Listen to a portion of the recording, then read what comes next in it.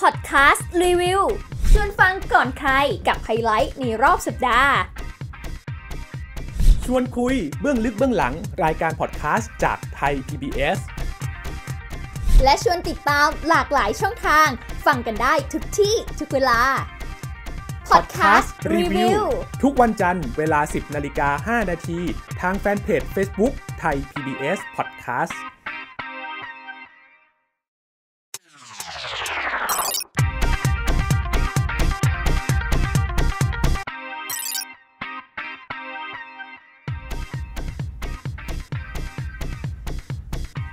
สวัสดีค่ะ ต้อนรับเข้าสู่รายการ Podcast Review สัปดาห์นี้พบกับมิวอัยดาสนศรีนะคะ เราเจอกันเป็นประจำทุกวันจันทร์ค่ะ เวลา 10นาฬิกา5นาทีแบบนี้ ทางแฟนเพจ Facebook ของไทย PBS ไทย PBS Podcast รวมไปถึง YouTube Channel นะคะของไทย PBS Podcast ด้วยค่ะ มานำเสนอเรื่องราวข่าวสารต่างๆ ที่น่าสนใจให้คุณผู้ฟังได้ติดตามเช่นเคย ส่วนสัปดาห์นี้จะมีพอดแคสต์อะไรที่น่าสนใจไปฟังค่ะ ประเด็นในรายการวันนี้นะคะกับรายการเพื่อนสนิท ชวนทำความรู้จักกับโปรแกรมอ่านจอภาพ ประตูสู่อิสรภาพและแสงแรกของคนตาบอด รายการโรงหมอกับผลกระทบจากเทคโนโลยีที่ทำให้เกิดการเปลี่ยนแปลงฮอร์โมนทางอารมณ์ต่อเด็ก และกลุ่มเปราะบาง ห้องสมุดหลังไม้นำเสนอวรรณกรรมเยาวชนจากประเทศสเปน ผลงานจากปลายปากกาของโคเชตหลุย โอไลโซล่า กับกุชโช ขอเริ่มต้นกันที่รายการแรกกับรายการเพื่อนสนิทค่ะสองสาวพี่พึ่งและน้องพลอย คนตาดีและคนตาบอดจะพาเราไปเปิดโลก ให้เข้าใจคนตาบอดมากยิ่งขึ้น ซึ่งวันนี้จะเป็นเรื่องราวของโปรแกรมอ่านจอภาพค่ะ คุณรู้หรือไม่คะว่าเดี๋ยวนี้คนตาบอดสามารถที่จะเล่นคอมพิวเตอร์ หรือว่าเล่นสมาร์ทโฟนได้แล้ว ซึ่งเป็นเรื่องใหม่ที่ตัวดิฉันเองนะคะก็เพิ่งจะรู้ว่าเออจริง ๆ แล้วคนตาบอดก็สามารถเล่นมือถือได้เหมือนคนทั่วไป แต่ว่าวิธีการและการใช้งานของพวกเขาจะเป็นอย่างไรนะคะ ลองไปติดตามกับรายการเพื่อนสนิทค่ะ สวัสดีค่ะ เพื่อนสนิทรายการที่จะทำให้คนตาดีและคนตาบอดมองโลกใบเดียวกัน ผ่านการบอกเล่าเรื่องราวใกล้ตัวที่จะทำให้คุณเข้าใจเรามากขึ้น อย่างเช่นตอนโปรแกรมอ่านจอภาพ ตอนนี้จะทำให้คุณรู้ว่าคนตาบอดสามารถใช้คอมพิวเตอร์และสมาร์ทโฟนได้ยังไง ใช่ค่ะ นั่นทำให้เราเข้าถึงโลกของอินเทอร์เน็ต ซึ่งเป็นทั้งคลังความรู้ และเป็นโลกของการสื่อสารที่ไร้พรมแดน แต่วิธีการใช้งานจะเป็นยังไงติดตามฟังกันได้เลยค่ะ W G O Enter พี่พึ่งคะ หลายคนค่ะ เวลาเห็นพลอยใช้คอมพิวเตอร์ เห็นพลอยใช้โทรศัพท์มือถือ แล้วก็ตกใจค่ะว่า เอ๊ะพลอยใช้ได้ยังไง ถ้ามองจากฝั่งคนที่มองเห็นแล้วมันก็ดูพลอยก็จะถือมาใกล้ๆหูอย่างนี้เนาะใช่ แล้วก็จะมีอาการประมาณเคาะเคาะไปวนหน้าจอที่ดับใช่ไหมที่มันเป็นแบบเนี้ยเพราะว่าพลอยใช้โปรแกรมอ่านจอภาพอะค่ะ มันเป็นโปรแกรมที่จะอ่านข้อมูลบนหน้าจอเนี่ยที่เป็นข้อความต่างๆ สมมติพี่พิมพ์อะไรมาเนี่ยหรือว่า ในอินเทอร์เน็ตมีข้อมูลอะไร มันก็จะอ่านให้ฟังหมดเลย แล้วเราก็ใช้การฟังตรงเนี้ยเพื่อที่จะรับรู้ว่า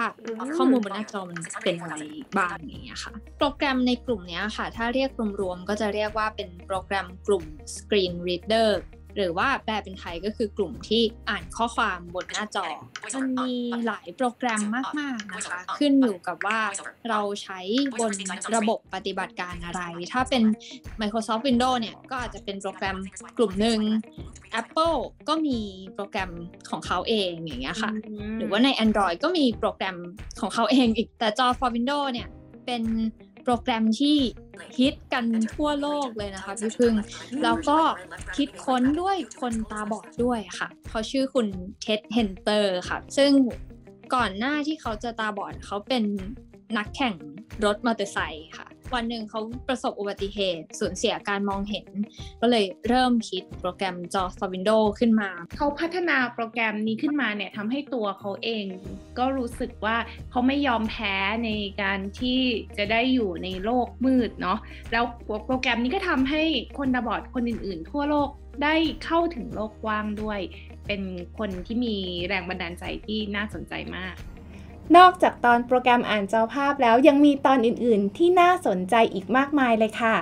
ติดตามฟังเรื่องราวของเราสองคนได้ที่ www.thaipbspodcast หรือแอปพลิเคชัน Thai PBS Podcast ค่ะ ไปกันต่อกับรายการโรงหมอกันบ้างค่ะสำหรับตอนนี้เราจะพูดถึงเทคโนโลยีที่มีปัญหาต่อสุขภาพกันบ้าง กับเรื่องของอันตรายแฝงจาก Metaverse นั่นเองค่ะ ปัญหาเด็กติดเกมที่ว่ารุนแรงและเรื้อรังแล้วนะคะ เมื่อเทคโนโลยี Metaverse ซึ่งเป็นเทคโนโลยีล่าสุด ที่สามารถทำให้ผู้คนนั้นเข้าไปอยู่ในโลกเสมือนจริงได้อย่างเต็มตัวแล้ว กลับพบกับปัญหาที่มีความรุนแรงมากกว่าเดิมค่ะ แม้เทคโนโลยีชนิดนี้จะเป็นที่จับตามองถึงประโยชน์ที่จะเกิดขึ้น ในปัจจุบันและก็อนาคตนะคะ แต่สิ่งที่น่าเป็นห่วงที่สุดก็คือผลกระทบ จากการเปลี่ยนแปลงฮอร์โมนทางอารมณ์ ต่อเด็กและก็กลุ่มเปราะบาง ที่อาจจะทำให้เกิดความก้าวร้าว หรือเกิดซึมเศร้าได้ ซึ่งก็จะมีผลต่อการเปลี่ยนแปลงทางพฤติกรรม จากการเสพติดเกม หรือว่าเชื่อมต่อกับสังคมเมตาเวิร์สโดยขาดการดูแลและควบคุมอย่างเหมาะสม จะเป็นอย่างไรไปติดตามจากรายการโรงหมอค่ะคนทุกคนมี dark side ของตัวเองอยู่แล้ว มนุษย์ก็มีสัญชาตญาณเหมือนสัตว์ นะฮะจะมีพฤติกรรมนะไม่ว่าจะเป็นพฤติกรรมการก่อความรุนแรงนะฮะพฤติกรรมเอ่อหลายๆอย่างของมนุษย์เนี่ยเป็นพฤติกรรมที่ต้องควบคุมด้วยสิ่งที่เราเรียกว่า ถ้าเป็นเด็กเราเรียกว่า self control การควบคุมตนเองนะฮะค่ะหรือว่าความรู้สึกผิดชอบชั่วดี ความรู้สึกทางจริยธรรมศีลธรรม พวกนี้เป็นเรียกว่า superego เป็นสิ่งที่เหนือกว่าความต้องการที่เป็นสัญชาตญาณอืมดิบนะของมนุษย์และสัตว์ทั่วไป อันนี้พอมีโลกเสมือนจริงเหมือนกับว่า สามารถปล่อยสัญชาตญาณดิบออกมา เช่นตัวอย่างหลายคนตอนเช้าทำงานดี ตอนเย็นเข้าไปในโลกอินเทอร์เน็ตไปไปล่าเหยื่อนะไปค่ะด่าคนอื่นนะโอ้ไปตัวเองอาจจะมีจุดด้อยนะ เป็นคนพิการบ้างเป็นคนอ่อนแอบ้างอะไรเงี้ย แต่พอค่ะเข้าไปในอินเทอร์เน็ตกลายเป็นผู้แข็งแรงไปนะแล้วก็เข้าไปโจมตีค่ะคนต่างๆ นานานะฮะคนขายของผิดกฎหมายนะฮะใน โลกของความจริงเปิดหน้าร้านขายของตามระเบียบตามกฎหมายพอ เข้าไปในอินเทอร์เน็ตรู้ว่าภาษีก็ไม่ต้องเสียนะฮะขายของผิดกฎหมายก็ไม่มีใครจับ ก็ไปขายของผิดกฎหมายข้างในกันนะฮะอย่างนี้เป็นต้นนะค่ะเพราะฉะนั้นมันมี dark side ของคนที่ต้องถูกควบคุมนี่ถ้าเราจะทำโลกเสมือนจริงกับโลกของความเป็นจริงให้เป็นโลกเดียวกัน ตามลักษณะของงานด้านเมตาเวิร์สที่จะเกิดขึ้นเนี่ย อันนั้นมันก็ต้องหมายความว่ากฎระเบียบต่างๆ ในโลกของความเป็นจริงก็ต้องตามเข้าไปโอ้อยู่ในโลกเมตาเวิร์สด้วยได้อันนี้เหรอคะเราก็จะไม่ตามฮะเพราะว่าทุกคนได้ประโยชน์นะ จากการอยู่ในโลกเสมือนจริงด้วยการแสดงออกซึ่งสัญชาตญาณดิบทั้งนั้น แล้วก็ก็ไม่ต้องการการควบคุมทั้งนั้นเลยค่ะนะดังนั้นเวลาจะพูดถึงการควบคุมก็จะถูกกลด่าโดยอืมผู้ใช้นะโดยที่ผู้ลงทุนไม่ต้องทำอะไรเลยผู้ลงทุนอยู่เฉยๆเดี๋ยว ยูเซอร์ผู้ใช้ที่ต้องการใช้อย่างอิสระจะเป็นคนถล่มเองนะในที่สุดค่ะกฎระเบียบจะไม่เกิดขึ้น แล้วผู้ลงทุนก็จะนั่งยิ้ม แล้วก็ลงทุนต่อไป แล้วก็ได้ผลกำไรไปสำหรับเรื่องอันตรายแฝงจาก Metaverse นะคะ สามารถติดตามได้กับรายการโรงหมอ ผ่านทาง www.thaipbspodcast.com ค่ะ หรือจะฟังผ่านแอปพลิเคชันก็ได้กับ Thai PBS Podcast นะคะ นอกจากนี้ยังมีประเด็นอื่น ๆ ให้ได้ติดตามกันด้วยไปฟังค่ะ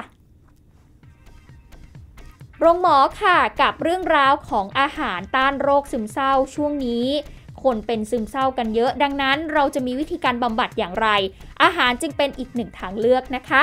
2 ก็คือเรื่องของการออกฤทธิ์ประโยชน์และโทษของกัญชา ตอนนี้นี่เราน่าจะต้องศึกษากันให้มากขึ้นเกี่ยวกับเรื่องนี้ แล้วเรื่องสุดท้ายค่ะโควิด -19 กับโรคพิษสุนัขบ้า เกี่ยวเนื่องเชื่อมโยงกันอย่างไร อย่าลืมติดตามกับโรงหมอนะคะ